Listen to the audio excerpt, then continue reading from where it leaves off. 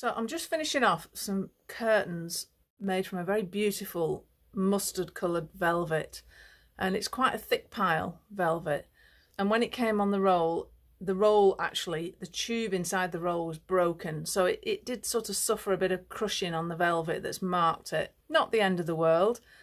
Um, there's a few ways of getting rid of it with steam and pressing with cloths over and stuff like that steaming from the back steaming over the top but when the curtains are already made, like mine are now, I've already got rid of a lot of the marking before I made them, but there's a couple of marks still that have persisted.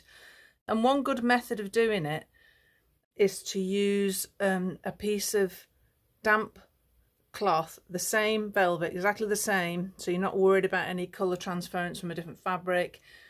And also, because it's velvet, it's like a little brush. So I'll just show you now.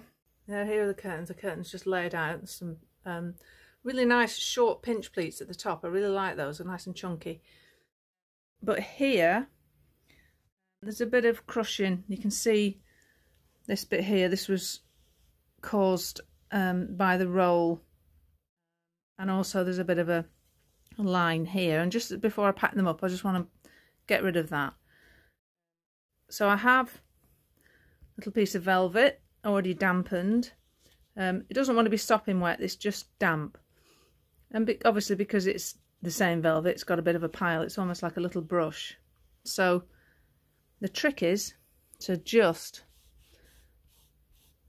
brush. The pile is going up on these curtains, not always, often they go down, the pile goes down. But in this particular case, the pile's going up. So The trick is to just keep brushing. I might have to wet this a little bit more just to get this line out here. But the idea is the little fibres that stand up, you just want to dampen slightly so that they have the opportunity to lay back down flat. I'm just going to dampen this cloth a little bit more, it's just gone a bit dry. So there we go. I've just added some more water to this and I'll just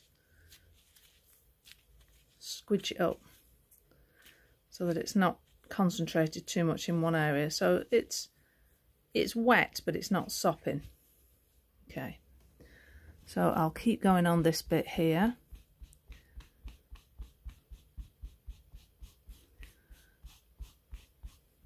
And sometimes if you just rub back and forth.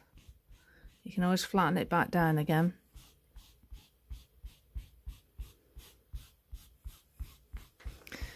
And whilst it might look like I'm flattening it too much once it starts to dry you can literally brush it back the other way. I tend to just do it with my hand because you, you can feel your way a bit better then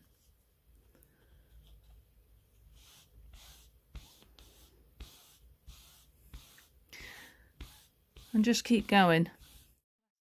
It's one of those things that you you keep going until you know you've got rid of it.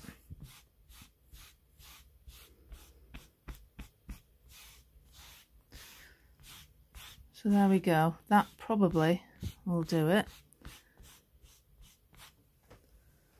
So starting to look better. You can see there where it's a little bit wetter. But what I'll do now fact, there's just a little bit here. I'm just going to do this bit here. That's just from handling it, I think, where I've just, where my hands have caught it. And then with my iron, I'll just blast the steam so I don't get any spits first. And then holding it over, not touching the velvet. Just blast a bit of steam down over it and that'll help it get right in there and also to start drying it off a bit. If I feel that, I can still feel this is a little bit wet here, but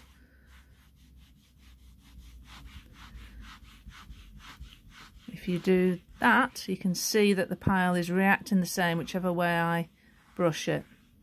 Now, I feel this is already drying actually.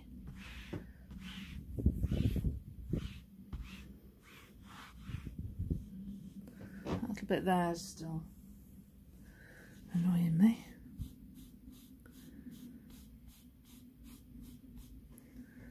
That's on a seam, so you don't want to go too much because then you start to, if you where you're over a seam, if you go too much, you start to get the impression of the fabric seam underneath. So just be a bit careful where you've got something underneath.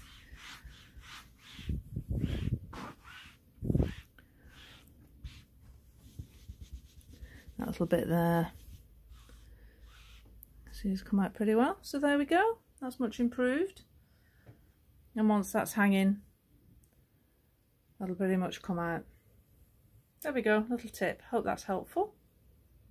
So thank you for watching and if you like the video please give it a thumbs up and uh, subscribe then you won't miss any other videos I make. I've also made another video um, of making these velvets actually from start to finish so you might want to take a look at that. I'll put a link up and you can uh, click on that if you'd like to. Thank you, goodbye.